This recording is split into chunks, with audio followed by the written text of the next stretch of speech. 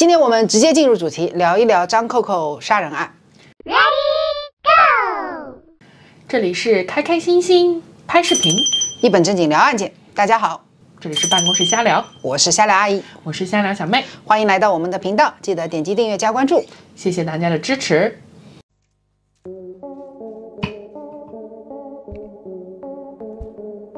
陕西省高级人民法院刑事审判第一庭现在开庭，传上诉人张扣扣到庭。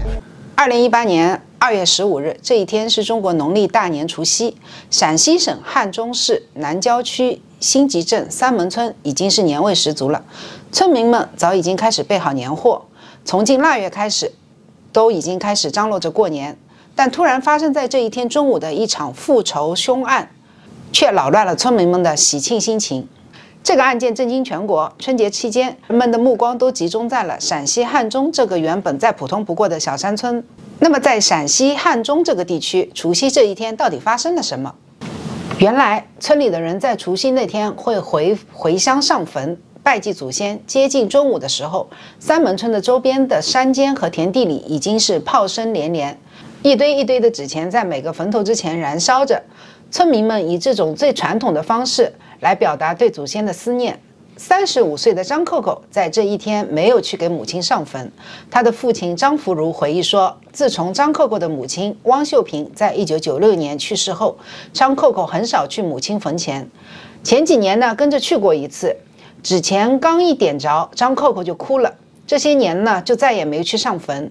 像往常一样，虽然儿子没跟着一块儿到坟上去，张福如及其全家还是一起去了祖坟。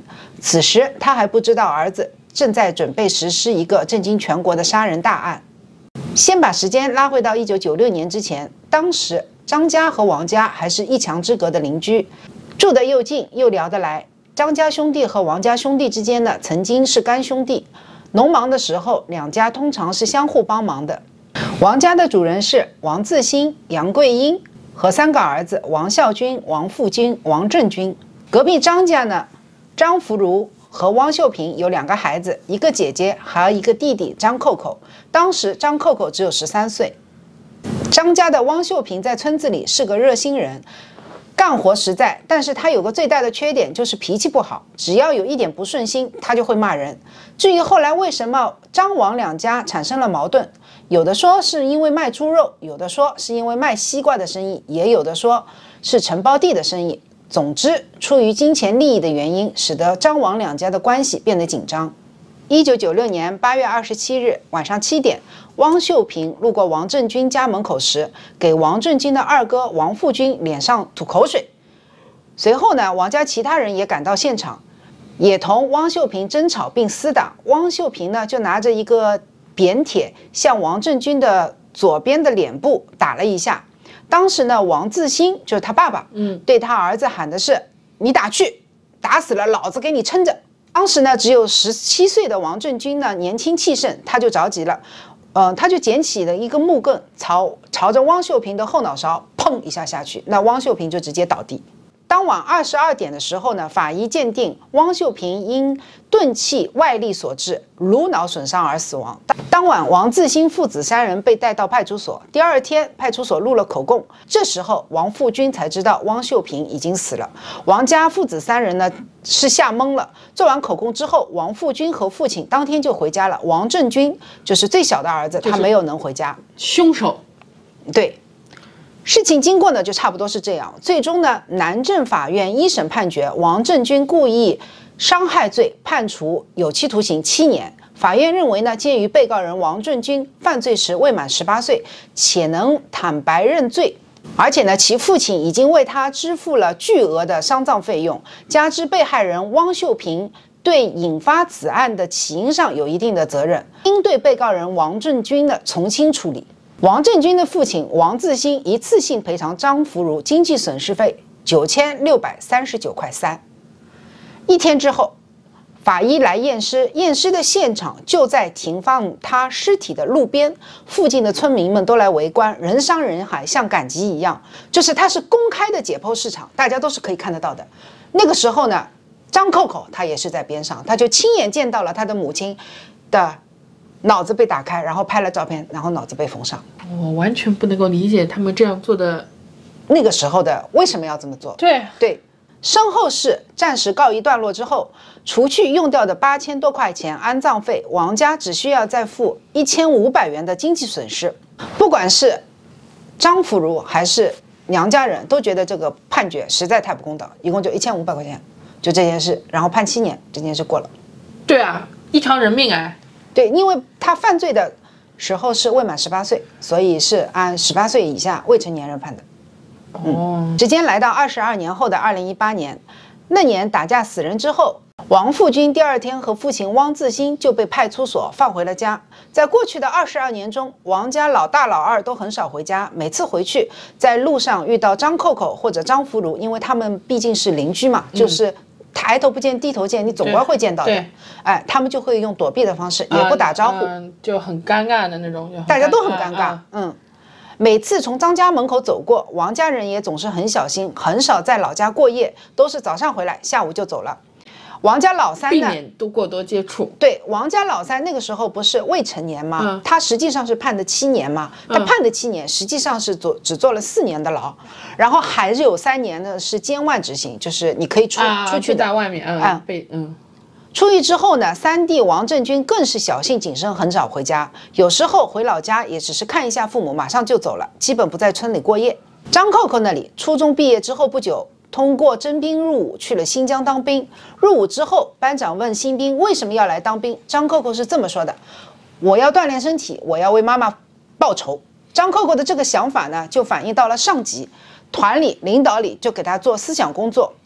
张福如呢是一个木匠，农闲的时候呢，其实他也不闲着，到处给人做小工，一天工资五六十块钱，有的时候就八十块钱。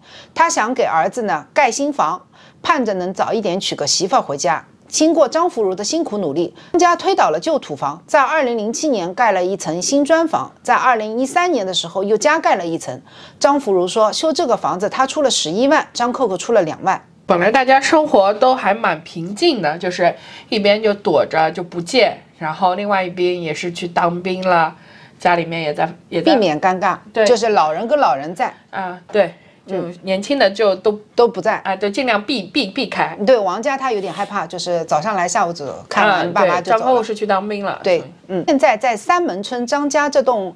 两层白色小楼已经算是最好的房子了。站在张扣扣二人的新房里，你眼睛看下去的就是王家大院整个情景。嗯，那你相反的话，你站在王家大院，就可以看到他家那幢楼。对，但是但是毕竟是心里有愧的呀，然后他就会一直觉得张扣扣在那里要报复，对，就有这种心理压压力嘛，嗯。在深圳的时候呢，张扣扣有个女朋友，但最后还是分手了。至于一直不结婚，张扣扣是这么说的：母亲死了之后，经常会想到母亲去世的画面，心里放不下。张福如回忆说，春节前的八九天，张扣扣去银行取了他所有的积蓄四万块钱，交给张福如。他是这么说的：你身上没钱了，这四万块钱我给你，你拿去种菜、买种子、买化肥、买农药。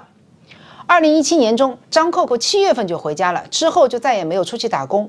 本来说春节之后要出去找工作，但是他觉得工作不好找，即使找到了，工资也太低，那就过完年再走。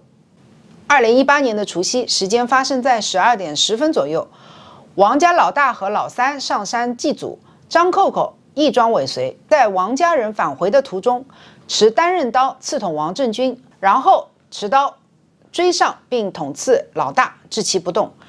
然后呢，他又返回去刺老三，直到他确认老三跟老一全部死亡。随后入王自新家院中捅刺王自新，致其倒地不动。然后呢，他又拿着刀去砍老大的小轿车，点燃两个酒瓶，致车后部燃烧，严重受损。在张扣扣逃离之前，他指着杨桂英，就是王自新的妈妈，就是三个儿子的妈妈。哦，三个孩子的妈妈。他说：“你是女的，我不杀你，还是有人性的。”嗯，这算人性吗？算人性。他如果要灭门的话，就全部都杀了。嗯，就残留的人性吧。残留的人性。嗯。当时王家老二他那天正好不在，王家老二呢处了一个新的女朋友，他在女朋友那里过年。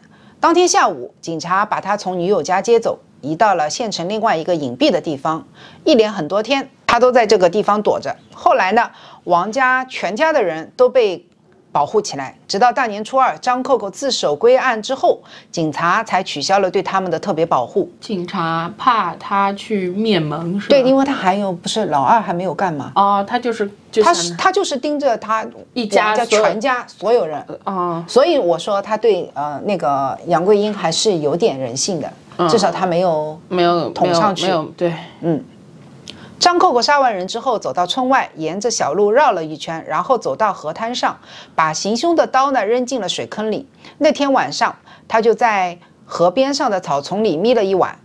张扣扣在看守所里对律师是这样说的：他那天晚上心里很平静，呃，但是没有睡好。大年初一，天一刚亮，他沿着田间小路来到了大河坎的江边，一路走到下午一点。那天他想回家看父亲一眼，走到邻居家，他隔着墙听到有人说话，他觉得有很多人都在，就翻墙逃跑了。他走到坟地，走到河沟，又来到了河滩上。初一那晚那一夜，在河滩上的张扣扣觉得天气太太冷了，就到镇上的银行自动取款机边上待了一晚。初二大清早七点四十五分，张扣扣到派出所自首。在他自首的当天中午，他被带到了三门村指认杀人现场。当时天上下着小雨，张扣扣呢戴着手铐和脚链，旁边的武警们全部都是全副武装，围观的村民非常多，有本村的也有邻村的，都是来看热闹的。这一个场景又让村民们想起了当年围观法医检验张扣扣母亲尸体的场景。现场指证完之后呢，张扣扣很潇洒，他就手一扬，他说没事。大家都回吧，没事。二零一九年一月八日上午九点，张扣扣故意杀人、故意毁坏财物案在汉中市中级人民法院开庭审理。下午五点四十分，法院一审宣判张扣扣故意杀人罪判处死刑，剥夺政治权利终身；犯故意毁坏财物罪，判处有期徒刑四年。张扣扣不服判决，当庭提出上诉。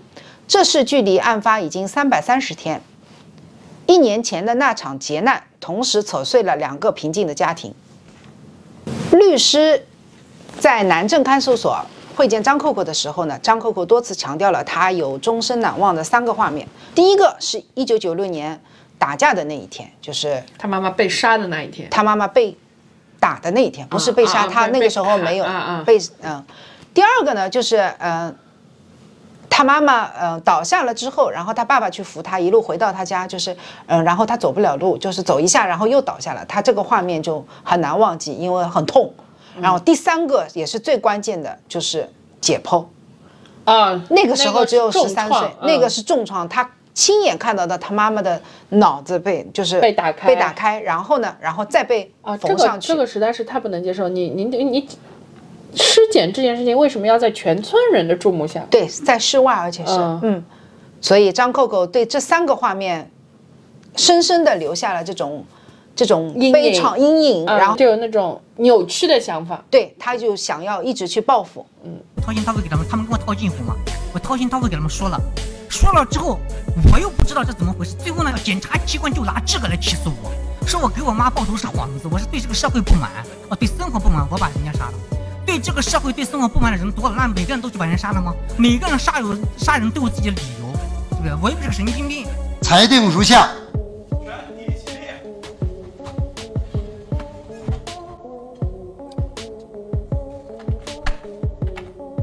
驳回上诉，维持原判。大家更愿意相信张扣扣举刀杀人，大多是出于童年阴影。总结下来呢，两家人之间的小矛盾没有处理好，没有被重视。最后引发大火。那么二十二年前能够严惩王家的话，也不会酿成二十二年后的悲剧。对，那这里有一个花絮，就是王自新，就是他爸爸，说的是老三打的。嗯哦，王秀平，但是呢，啊，张福如说的是老二打的，但是他们考虑的是因为未成年，所以呢，老二可能要以死抵罪，对的，以以命抵命。对，然后他们算好了是老三未成年，然后所以让判不了多少，判判不了多少，因为最高刑期也就只有七年，所以他判的是七年。嗯嗯，私利复仇存在的极大的利弊，会产生巨大的危险。同样的事情，每个人在心中的公正是不一样的。那么由当事人来判断，并根据自己的判断来进行这种私利复仇的行为，将导致无休止的反复复仇。社会将处于无序和混乱之中，而包括当事人在内的每一个人都将会是这种无序和混乱的受害者。张扣扣案在感情上来说是一种悲剧，有很多值得人们同情的地方。但从法律的角度来说，对他判以再严厉的刑罚也不为过。几条人命，几个家庭，家破人亡，都源于二十二年前的。那个小小的矛盾，嗯，这对于他张扣扣这个人嘛，肯定也是一个舆论，也是一个矛盾的嘛。一方面觉得他是一个二十二年前被受了一个迫害受害者，受害者，然后又没有，而且是一个没有得到公正，呃对待的受害者。对，然后但是所以就造成了他一个心里面一个积怨啊，或者他心里面慢复仇的心，复仇一点点累加。但是，呃，但是他去这样屠杀是不对的。义，你有很多种方法，不一定要用私刑去屠杀。但是我知道很多人就要说，这个世界没很多事情是没有办法伸张的，不一定是公平的。呃，这个事情就是王家被屠杀了，也是一种活该，也是因果报应。对。所以，就所有的事情都是有两面的嘛，就看你去怎么看待这个事情。那么，你觉得这个是屠杀类的，还是他是无辜的？他不会是无辜的，毕竟他杀了人，他有人命在身上，他再怎么样，他也是不是无辜的。但是，就是他的这个行为是可以被谅，也不能说被谅解，就是可以被原谅。嗯，原谅的话，他就不会去以命抵命了嘛，就是被理解吧。这样说吧，那你觉得他的行为是能够被理解的，能够被接受的？嗯，还是还是确实是法律判的太重了，判的是死刑。那以命抵命很正常，而且他身上背的不是一条命啊。那可以判他个无期啊。那中国的法律就是一命就是一命啊，故意杀人就是一命一命啊。那好吧，嗯，那今天的视频就到这里，谢谢大家的收看，下期再见，拜拜。投诉人张可可。庭前是否已经核对了你的身份？是。你的身份与汉中中院一审判决认定的身份是否一致？是。你什么时间收到汉中市中级法院一审刑事判决书？一月十二。一月十二号。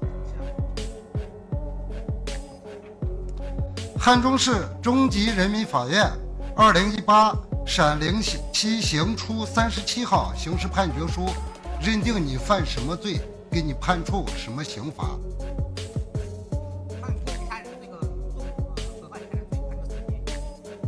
呃，具体是杀人罪判处死刑，剥权终身；故意毁坏财物罪判处有期徒刑四年，合并执行死刑，剥夺政治权利终身。你是否在法定期限内提出上诉？